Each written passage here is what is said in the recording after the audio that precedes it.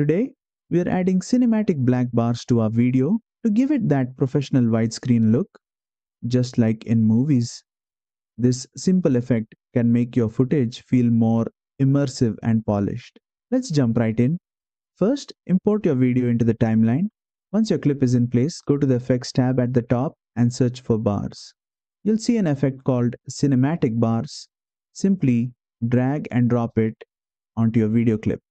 Now, you'll instantly notice the black bars appearing at the top and bottom of your video. But what if you want to fine tune the effect? No problem. Just select the video clip, go to the right side editing panel and click on the effects section. Here, you'll find a height slider. Drag it left or right to adjust the size of the black bars.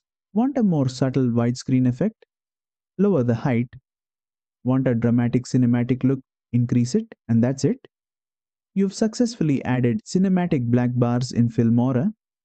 This effect is perfect for giving your videos a movie-like feel, making them look more professional and visually appealing.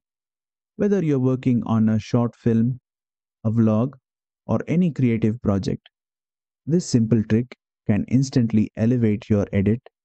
If you found this tutorial helpful, don't forget to like, share and subscribe for more quick Filmora editing tips.